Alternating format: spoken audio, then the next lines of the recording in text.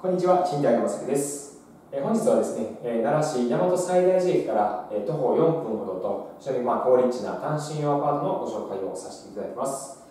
はい、まずですね、こちらの洋室の広さですが、約8畳ほどと大変広々としたお部屋となっておりますので、まあ、ベッドやテレビを置いていただいてもゆったりと、えまあ、くつろいでいただけるようなスペースが確保できるかなと思います。はい、またこちらのお部屋はですね、角部屋ということで、え窓が2箇所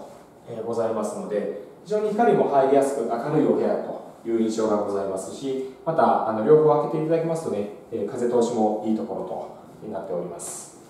はい、またですねこちらのエアコンですね、え1台備え付けとなっておりますので、えー夏冬快適に過ごしていただけますしまた引っ越し後の費用の方も抑えられます。あとこちらの方にはですね、まあ、バルコニーの部屋あバルコニーがないとなっておるんですけども、えー洗濯物はですねこちらの方にえー竿をかけていただいて洗濯物を干すことが可能となっております。はいそしてこちらの収納スペースですね。こちら、えー奥の方にもねちょっと広くなっておりますのでまあお一人様のお荷物でしたら十分な収納スペースになっておりますね。はい、続きましてこちらの玄関スペース、キッチンスペースの方に行きますと、まずこちらの方はですね、モニター付きインターホンとなっておりまして、まあ、カラーでお顔を確認してお話ができますので、まあ、あの防犯面でも安心していただける設備となっております。こちらが玄関で、はい、またこちらの方がね、キッチンスペースとなっております。まずこちらの方がですね、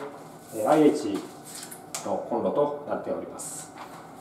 またシンク上の方には、えーコップやお茶碗の方も置いていただけるところとな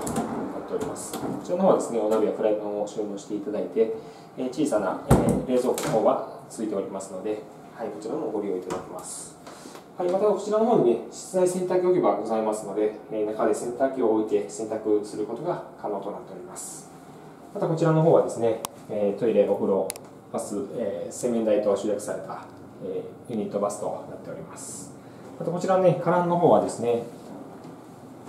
出したり止めたりするのが非常に楽な、えーワンタッチできるような、えーカランがついておりますので、非常にこちらの方もおすすめなものとなっております。はい、えー、収入家賃もね、お安くなっておりますので、えーこれから一人暮らしをお考えの方、また学生さんにも、えーぴったりなお部屋と。その他条件の方は弊社ホームページをご覧ください。奈良のおもてなし、奈良心、賃貸のマスクでは皆様のお客さんを全力でサポートさせていただきます。ご視聴ありがとうございました。